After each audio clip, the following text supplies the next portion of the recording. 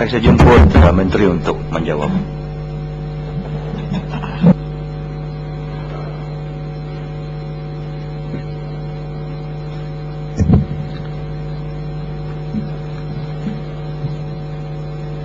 Datuk Pengerusi saya ucapkan berbanyak terima kasih kepada enam orang uh, ahli-ahli yang berhormat telah uh, mengemukakan soalan untuk kementerian ini dan juga pelbagai saranan dan cadangan yang telah dikemukakan uh, banyak terima kasih bagi uh, soalan dari yang berhormat uh, Bukit Bintang tentang uh, yang berhormat risau tentang uh, peluang yang diberikan kepada kaum-kaum lain dalam perkembangan uh, budaya di negara ini.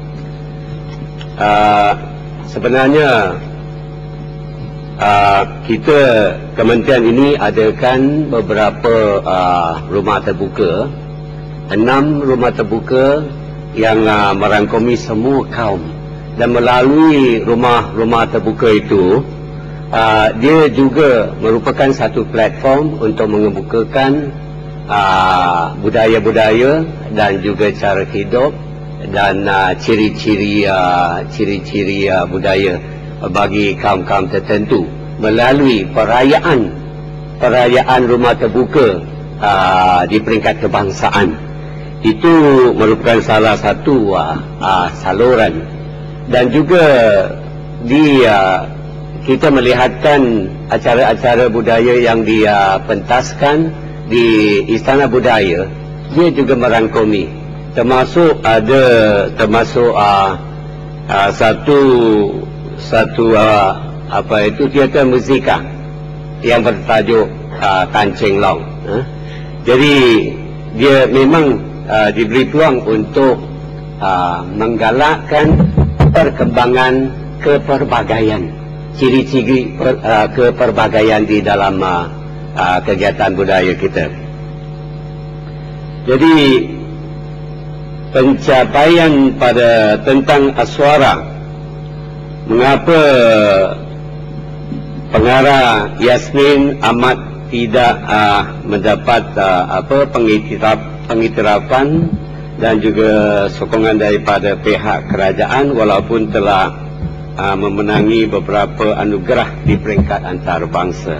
Yang Umat nak bagi jalan yang Umat. Ya, sebentar.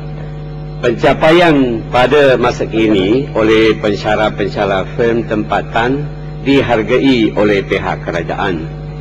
Walau bagaimanapun, jumlah uh, pengarah film tempatan yang uh, yang apa itu bukan uh, uh, yang bukan saja bukan hanya seorang saja dan uh, penghargaan sepatutnya diberi kepada semua kepada mereka yang uh, telah menunjukkan uh, uh, pencapaian yang cemerlang.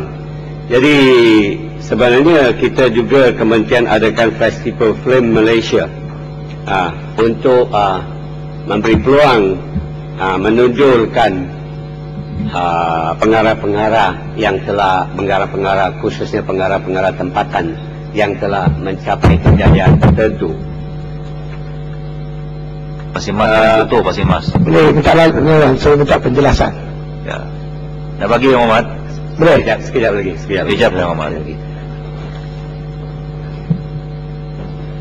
Tentang uh, penggunaan istana budaya ha, kesukaran untuk menggunakan istana budaya memang dia merupakan satu hakikat uh, istana budaya merupakan satu tempat uh, yang uh, yang apa yang uh, memang dia penuh dia penuh dengan program-program pementasan di uh, istana budaya jadi uh, memang ada perasaan bahawa uh, artis-artis ataupun kumpulan-kumpulan uh, kesenian ingin mementaskan uh, acara mereka di uh, Istana Budaya mengalami uh, kesukaran.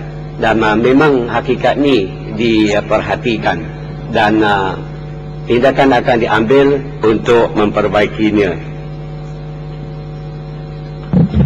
Uh, soalan Nak bagi jalan Muhammad? Sikit Ya, penjelasan. Pak Simas. Ya, Pak Simas. Eh, terima kasih Tuan Pusi saya tak sempat mengambil bahagian tadi. Saya nak tanya ya, Yang Muhammad. Apabila Muhammad sedar melahirkan ahli-ahli seni ini tidak memerlukan program ijazah. Sebab tokoh-tokoh seni yang zaman silau seperti Allah Yarham Tan Sri P. Ramli tak ada ijazah.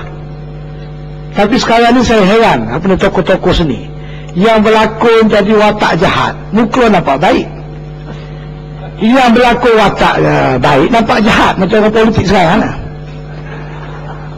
macam dia kita tak ada tokoh-tokoh dulu seni uh, Datuk Pengusi macam Saleh Kamil A. Ataupun macam kita tengok uh, tokoh-tokoh seni dulu macam uh, Latifah Umar uh, Nur, Madiah tak ada tak ada ijazah. Tengok kecantikan dia orang pun bertahan lama. Macam Ali Parlimen Selamat cuma ada tai lalat dia. Latifah Umar ada dulu. Tapi salah. saya, ya, saya salah saya ada tuan-tuan pengurusi iaitu maknanya penekanan dalam membentuk apa ni, eh, seni budaya ni. Dia sebenarnya programnya bukan melahirkan dari, segi ijazah. Kalau ijazah program penulisan skrip dia supaya ada penulis skrip yang hebat-hebat macam Indonesia. Boleh apa yang Bapak sedar perkara ni? Ya, ah, memang pada masa sulam kita dapati banyak tokoh-tokoh lah seni tanpa apa-apa latihan ah, latihan formal. Tapi mereka menunjuk sebagai se se seorang tokoh seni yang terkemuka. Memang ah, bukan ah, hanya dalam ke kesenian saja di bidang-bidang lain juga ah. Ah, kita melihat kenyataan-kenyataan atau hakikat seperti itu jadi bagi bagi orang-orang yang pandai berlakon eh, di kalangan ahli politik dia menunjukkan uh, muka satu kemudian uh, pada akhirnya budi pekertinya berlainan. Jadi ini kita sama-sama faham lah. Ha? Kita sama-sama faham. Jadi ini tidak bermakna khusus-khusus yang disediakan oleh Aswara itu tidak akan mendatangkan faedah. Pasalnya uh, saya rasa dan saya rasa boleh diterima umum bahawa dengan khusus-khusus yang diadakan oleh Asmara itu